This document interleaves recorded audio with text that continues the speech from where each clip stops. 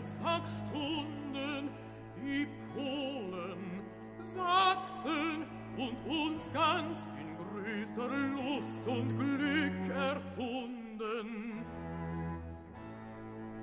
Mein Ölbaum kriegt so Saft als fetten Raum, Er zeigt noch keine falbe Blätter, mich schreckt kein Sturm, Blitz, trübe Wolken, düstres Wetter.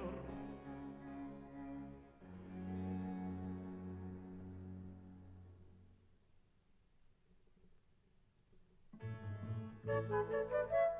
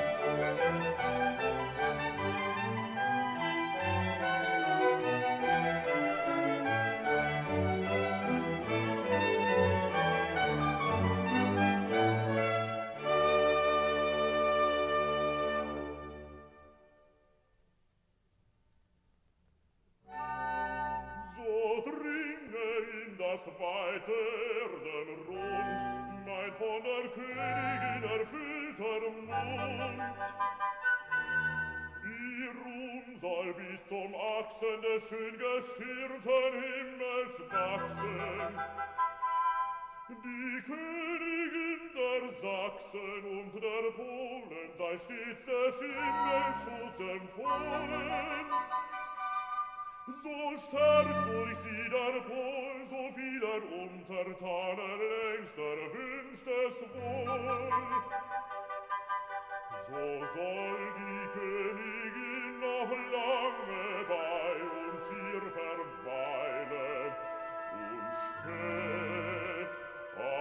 che zum Sturm